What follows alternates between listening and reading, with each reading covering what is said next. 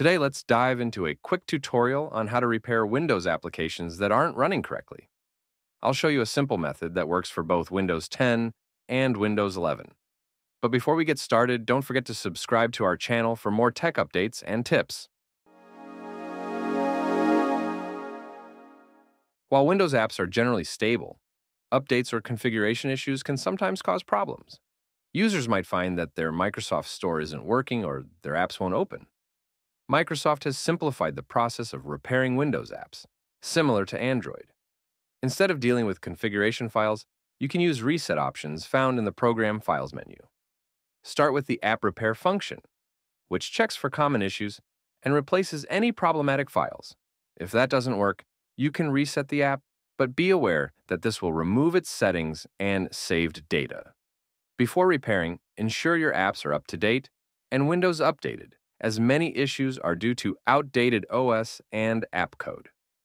So let me show you through resetting and repairing Windows 10 and Windows 11 apps to restore normal functionality. Let's start with Windows 10. Right-click on the Start menu and select Apps and Features.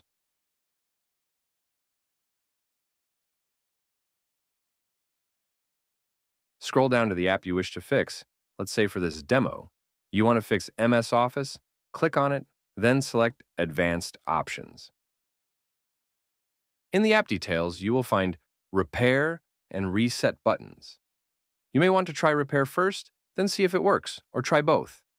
Simply click Repair, and once job is done, you will see a tick mark displayed against the button, indicating that the app is repaired.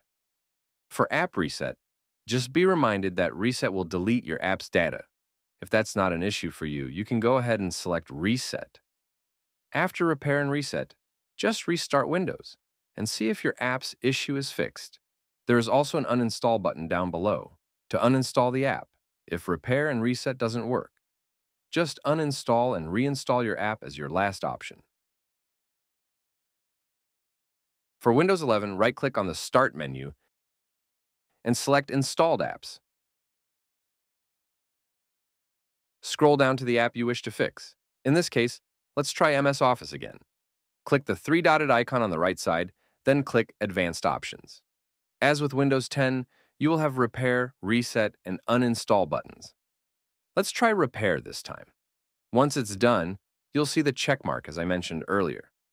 With Reset, as I said before, it will delete your app's data and will give you a warning and confirmation window before you proceed. And that's it. Simple and easy ways to fix your Windows applications. If you found this tutorial helpful, please give us a thumbs up and subscribe to our channel for more tips and tricks. Thanks for watching.